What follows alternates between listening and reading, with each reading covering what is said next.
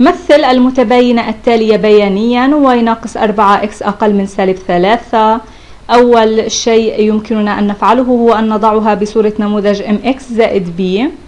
أي بنموذج تقاطع الميل لكن كمتباينة إذا لنبدأ. y ناقص 4x أقل من سالب 3 يمكننا أن نضيف 4x لطرفي المتباينة. إذا دعونا نضيف 4x لطرفي المتباينة.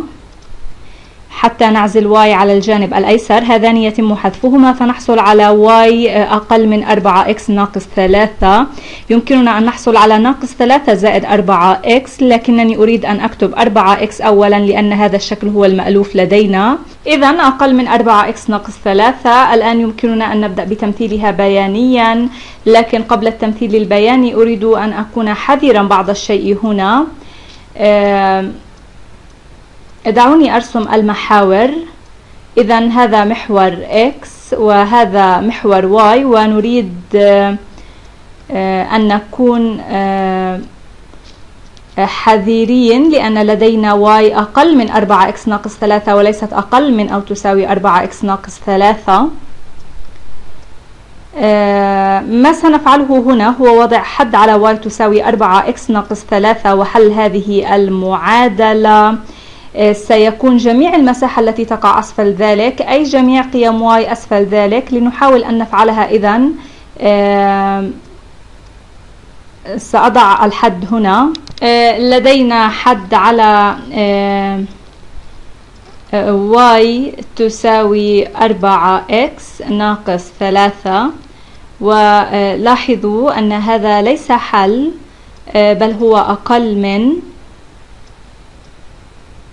إذا يمكن الاستعانة بطريقتين حيث لدينا الميل وتقاطع y إذا كنتم تعلمون أن الميل هو 4 وسالب 3 هو تقاطع y أو يمكنكم أن تأخذوا نقطتين إذا كان ذلك سيساعدكم في تعريف الخط. فيمكنكم أن تقولوا إذا كانت x تساوي صفر فما هي قيمة y نحن نعلم ذلك. صفر ناقص ثلاثة تساوي سالب ثلاثة لأن تقاطع y لدينا صفر مع سالب ثلاثة.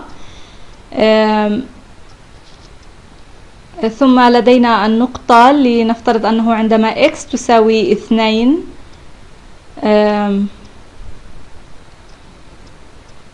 حسنا عندما x تساوي اثنين فما هي قيمة y لدينا؟ أربعة ضرب اثنين تساوي ثمانية ناقص ثلاثة إذا y تساوي خمسة.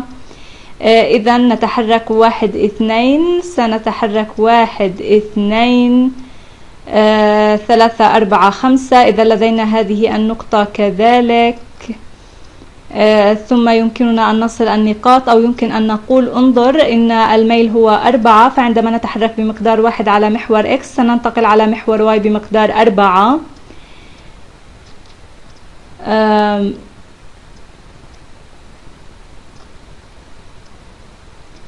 إذا سيبدو هكذا. دعونا نرسم. آه، سنرسم خط منقط لأنه تذكروا أن هذا ليس جزءا من الحل. دعوني أرسم بشكل أكثر إتقانا. هذه النقطة تقع هنا وهذه النقطة تقع هنا. آه، إذا سأرسم خط منقط وسيبدو بهذا الشكل حيث يوضح أن هذا ليس جزءا من الحل.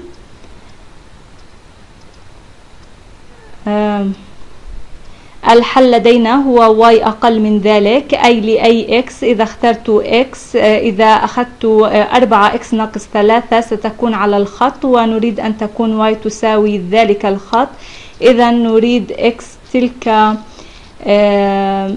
آه، أن تكون أسفل الخط أي ستكون كل هذه المساحة هنا لأنها أقل من الخط ولن تشمل الخط. ولهذا السبب وضعت خط منقط هنا. يمكننا أيضا آه، أن نقول هذان الخطان مقسمان على المحاور. آه، ولدينا مساحة فوقهما ومساحة تحتهما. دعونا نختبر ذلك. دعونا نأخذ شيء يقع آه، فوقهما لنأخذ النقطة صفر وصفر ونرى إذا كانت تحقق المعادلة. إذا كان لدينا y تساوي صفر آه، صفر أقل من صفر ناقص ثلاثة أو نحصل على صفر أقل من ناقص ثلاثة. هذا لا يمثل الحالة أي أنها ليست صحيحة. وهذا منطقي لأن صفر وصفر ليست جزءا من الحل. الآن يمكننا أن نذهب للجانب الآخر من الحد.